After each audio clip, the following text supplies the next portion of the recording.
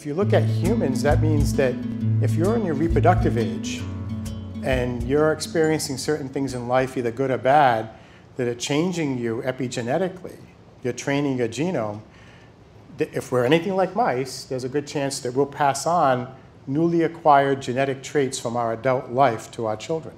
That's transgenerational inheritance. That means that unlike what Darwin said, which it takes tens, tens of thousands or hundreds of thousands of years for random mutations to make their way through by random you know, process and by, by um, uh, natural, natural selection. selection, that the very next generation has been affected genetically by the lifestyle of the parent.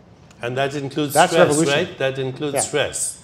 That includes good and bad. It Yeah. includes stress, bad diet, good diet, all, everything. But Yeah. I'm right now talking about the psychological interpretation of what's threatening. You know, uh, people, some people are constantly looking at the world and what's wrong with it. Mm-hmm. And, um, you know, the, it brings about stress, which of course results in inflammation, all of that. But long-term stress and even bursts of stress alter gene activity.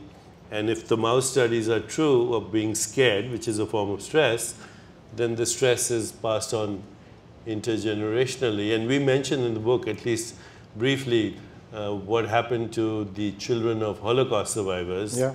and also what happened to the children of 9/11 survivors right and, here in and New York City. and the Dutch famine. So basically, we don't have the genetic evidence in humans yet to say what we've seen in mice happens in humans, but there are stories, right? So if you look at when the Germans at the end of World War II blocked all the food from going into Holland, and there was this huge famine, Dutch famine. It was called the Dutch hunger winter.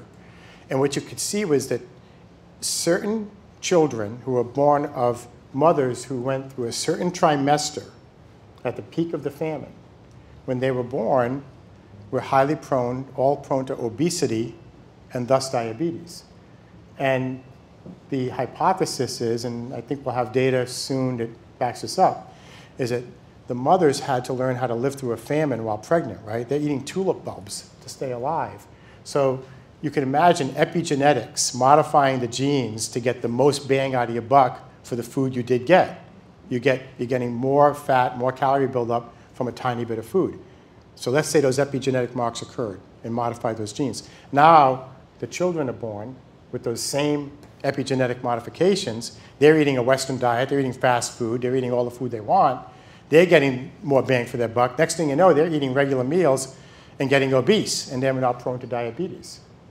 So that was just one example of where it looks like this is happening in humans as well, that, you know, especially at, at reproductive age.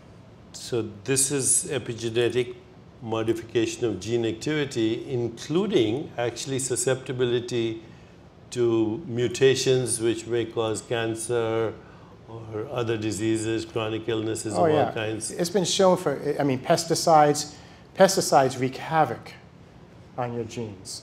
Um, environmental toxins, you know, plastic bottles BPA, these things all cause epigenetic modifications that increase risk for cancer. And even, and again, this can be possibly passed on to children.